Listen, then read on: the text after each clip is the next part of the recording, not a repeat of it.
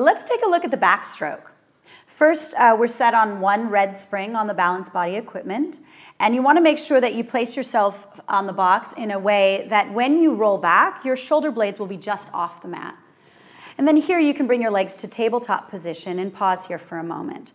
Next step is to retrieve the straps and then hold them in your hands with a soft fist. So the fist is going to be kind of just above your eyes. The carriage is no longer at the stopper.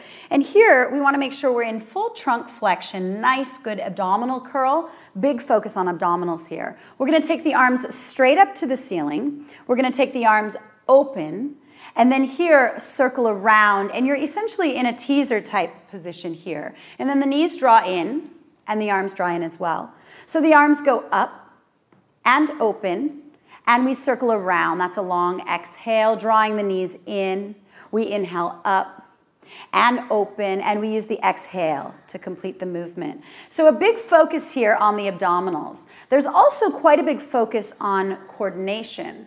So the idea here of being able to coordinate maintaining trunk flexion while you lift the arms up and circle around. Let's look at that a little bit more. So come in here, pause. We want to maintain that trunk flexion as the arms and legs go straight up. Taking a moment here to ensure that we're at perpendicular with the arms and the legs with the ceiling or the floor, however you look at it. Without moving the carriage, then we open the arms and then we use those back muscles to pull everything back to where it came from. Just one more time here, cleaning up and viewing the backstroke.